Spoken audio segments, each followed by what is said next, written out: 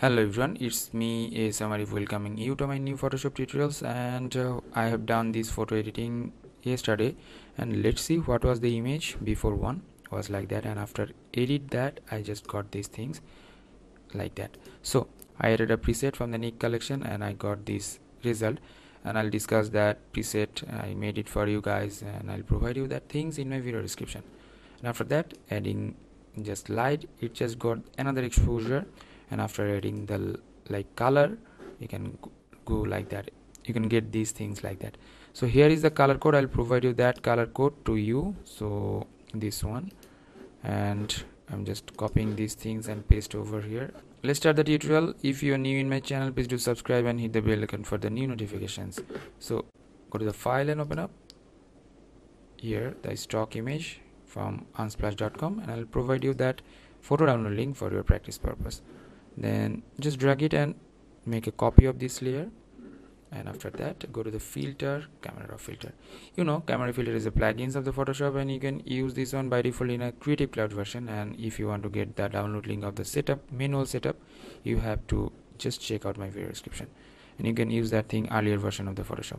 Here is small menu. Go to the load settings options from here. Here is the like uh, xmp file. That is the urban type xmp file and load it out so after loading that you are getting the effects like that. So what i have done here let's start to discuss. Here i made the temperature minus 6 and here the highlight plus 2 and shadow plus 16 and clarity minus 18 that's why it look like a soft effects. And the dehaze option i make it just like plus 4 and vibrance that is minus 3 and saturation minus 5 and tone curve what i have done here let's see tone curve nothing i just done over here. Uh, green tone curve I made just locked it up and here just made like that. And red tone curve made like little bit in a downside. And then sharpening I made the sharpening that is 30 and the radius 1 and detail 25 luminance of noise reduction 40 for the smooth fill. And uh, just for the image was like a grain and here the luminance detail 50 and luminance contrast 31 and color 38 here the color detail 50 and the color smoothness that is the 50 and most important thing is the HSL panel hue saturation and luminance. Hue that is like green hue. The most of the color here is green that's why I made the color of the hue of the green that is the 42 that's why it look like like a yellowish type. And here aqua as well aqua minus 23 and blue plus 38 so if i make the blue color like that it will be mm, like uh, totally aqua and hair color is aqua. So i don't want to make the hair color in aqua mode. So i just made like that. Okay. After that saturation. Let's see the saturation yellow. Made the down saturation. That's y minus 36 and the green minus 34 aqua minus 74 that's good. And luminance i didn't touch that and the split toning you know the shadow and highlight color. So what will be the highlight color and what will be the shadow color? It defines with the split toning highlight here is the hue and saturation option you know the which color will be defined with the hue and the percentage of color defined with the saturation. So here hue 146 and the saturation 13 hue 2 and saturation 15 no lens correction issues and here the amount of post vignetting that is minus 20 and the camera calibration from our calibration whatever you can tell. And that is red green and blue three primary colors. Red primary colors hue that is the 68 and the saturation 43 hue 65 and 42 for the saturation. And blue primary color minus 65 and minus 3 and that's all and hit the ok button.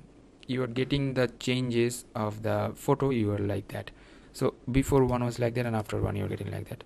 And then I will add the light take a new blank layer and after that go to the brush and right press over here. You can make the brush size for 412 and hardness 0% and after that you can choose the first brush which is like that and select once or press once. Press command T and make the bigger size like that. Yeah